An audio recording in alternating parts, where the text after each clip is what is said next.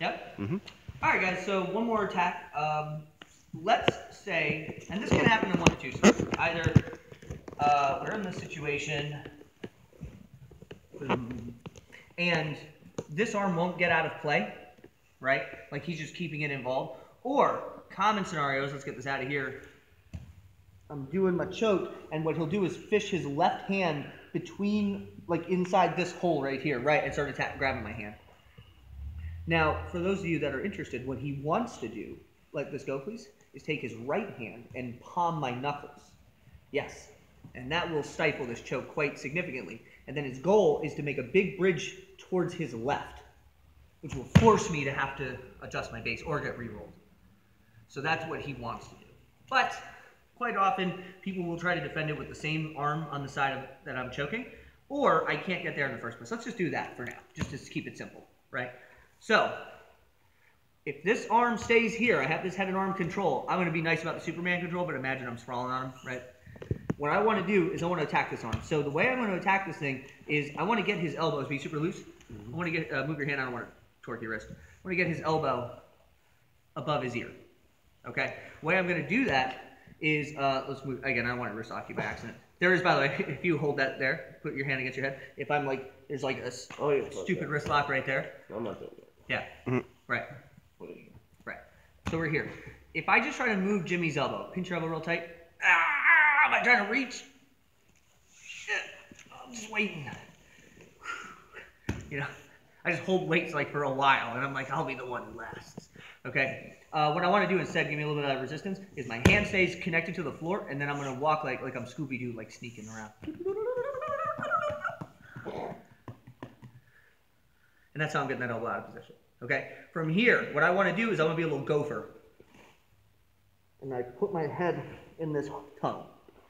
It's very important nuance. If we go back and I'm up here and like I try to wiggle my head around, I'm just gonna sandpaper my own eyebrows. and you're gonna look like a gopher.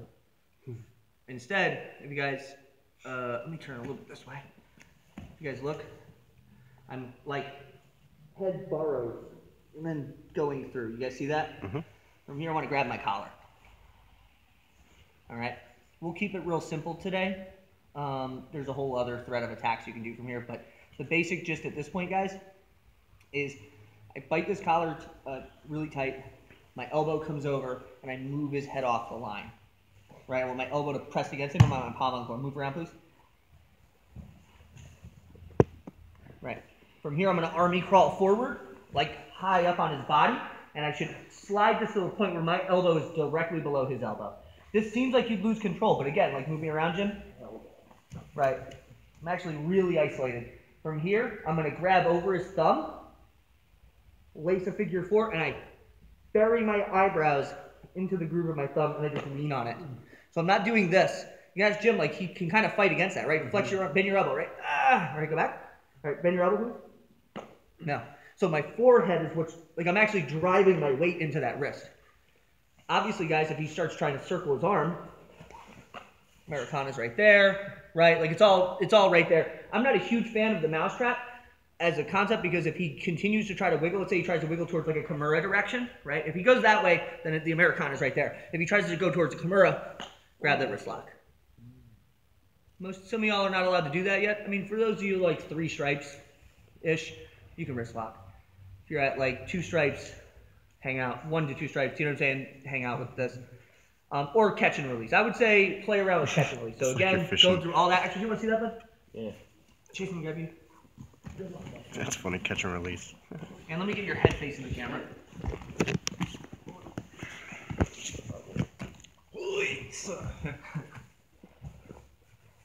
Okay. So let's say this arm. Actually, let's do out of the Ezekiel this time. But Jimmy, just so you, in case you, didn't- you need to see it, let's say you're just defending. Yeah. It's just here, and I notch under the thing. Hold tight.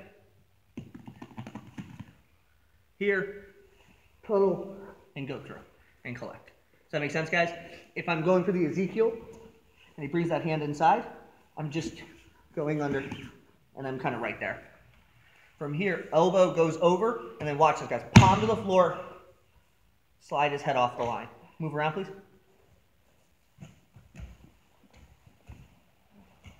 And then I'm going to army crawl up, spin back this way. a little.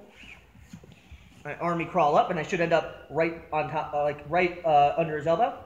From here, I can release this elbow, and I want to find his thumb. So I'm not finding the wrist, I'm finding the groove of the thumb. And then I'm gonna see that if you guys look, there's a little hole. You know, like you're playing that game where you make them look at this and then they kick you. I'm gonna do that. I'm gonna look in the hole. Okay. Elbows go tight, and then again, take that. Uh, like just try to bend your elbow like you're doing a bicep crunch. Can be tough. All he needs is that enough to start spinning around and stuff. Right. Like flex your bicep and then spin your arm around to get free. Right. All he needs is just a little bit. All right. Spin your arm, please. Bend your elbow, please. Nothing. Yeah, he's not going to get anything. There's also a little bit like of an elbow pinch that happens there. If he does manage to start spinning his arm towards the Americana, take it home. Remember Cobra hands. If you guys were here for that lesson, if you don't know that, don't worry about it. But just Cobra and here, I'm Cobra Commander. And then if he starts going towards the Kimura, go up for the wrist lock. And I just want to grab that pointer knuckle and start taking that towards his armpit.